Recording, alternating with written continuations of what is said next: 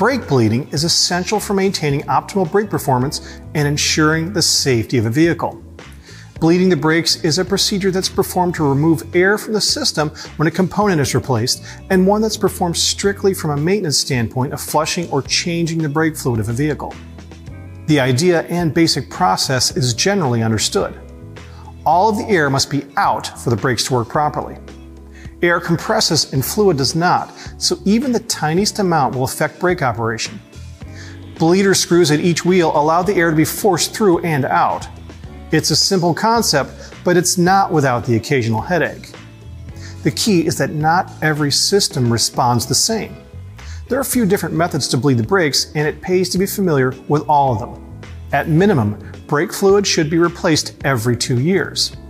The older it gets, the more moisture it absorbs, the worse it performs and the more corrosive it gets, slowly eating away at the expensive internal components of a brake system.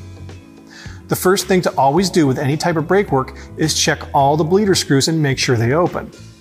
After opening the bleeder screws, it's important to take the additional step of removing and cleaning them.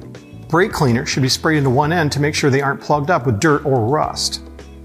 Your customer should always wear safety glasses for this type of job, so be sure to ask if they have a pair. Another sales opportunity is a drain pan to catch the brake fluid as it drips out of the caliper or wheel cylinder. Bleeder screws are located at the high point of a brake caliper, but it's possible to install some calipers on the wrong side. This is a very common mistake, and when it happens, the bleeder screws will be on the bottom.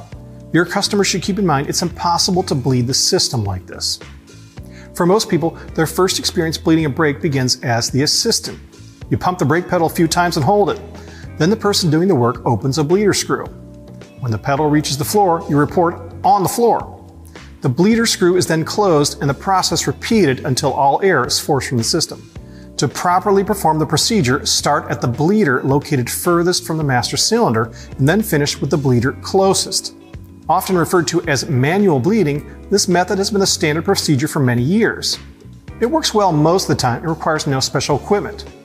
The drawbacks are that it can be time consuming and requires an assistant, which your DIY customers don't always have.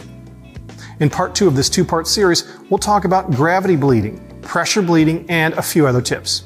Thanks for watching.